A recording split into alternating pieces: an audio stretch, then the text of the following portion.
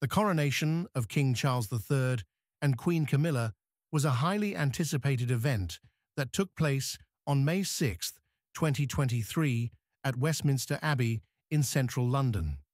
Months of meticulous planning went into organising this significant occasion, ensuring it was a perfect celebration befitting the monarchy. The Prince and Princess of Wales, along with their children, Princess Charlotte and Prince Louis, arrived at Westminster Abbey ahead of the coronation ceremony.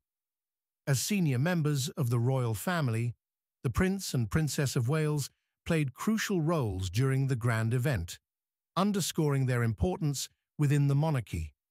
The coronation marked a historic moment for the United Kingdom, as King Charles III officially ascended to the throne following the passing of his mother, Queen Elizabeth II, in September 2022.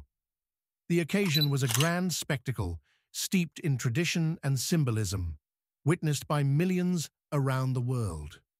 According to a lip reader's interpretation, Kate Middleton issued a concerned four-word warning to Prince William ahead of the coronation ceremony.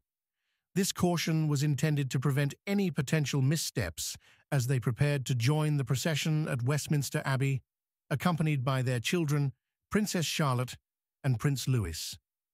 The couple arrived donning formal robes, with Kate wearing her striking Royal Victorian Order mantle and William sporting his Order of the Garter mantle. Cameras captured the moment when the couple lined up, waiting for the procession to commence, during which they were seen exchanging words with each other, as reported by the Mirror.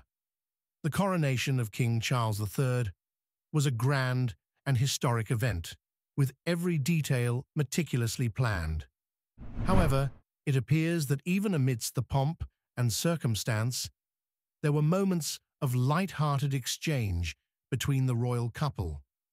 According to professional lip reader Jeremy Freeman, Princess Kate shared a word of caution with Prince William before their procession into Westminster Abbey. Freeman claims Kate turned to William and said, just mind the gown, likely referring to her intricate coronation attire. In response, the heir to the throne reportedly offered reassurance, saying, Don't worry, I got or caught it. Despite the potential wardrobe concern, the royal couple navigated the ceremonial proceedings without any visible hiccups. However, one particular aspect of Kate's outfit sparked curiosity and speculation among royal enthusiasts when the official coronation photographs were released though the details remain undisclosed.